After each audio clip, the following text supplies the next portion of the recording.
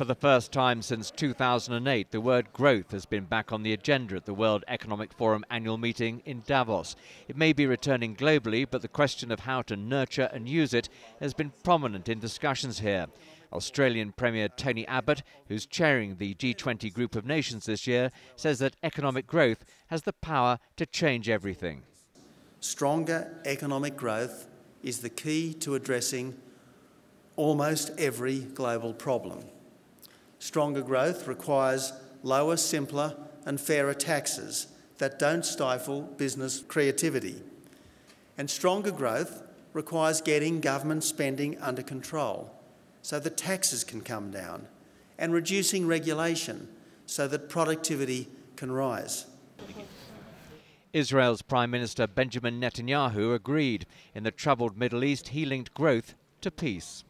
The uh, investment in the growth of the Israeli economy is good for our society and it's also good for our neighbors, whether they realize it or not. I believe that in the peace negotiations, advancing the economic piece alongside the political piece, one does not replace the other. And in the CCTV debate on China, Goldman Sachs CEO Lloyd Blankfein predicted that growth in China would be good for the whole world.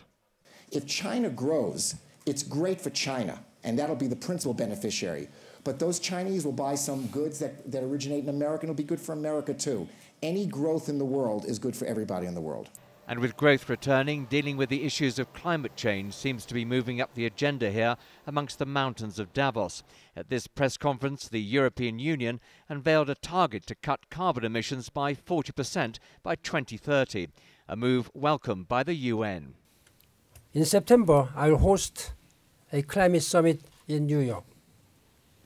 I'm asking government, business, finance, and civil society to come with a bold announcement and actions because achieving an ambitious and legal climate agreement will require political leadership. Politicians will be back on stage here in Davos tomorrow with sessions from the UK Prime Minister David Cameron and Israel's President Shimon Peres.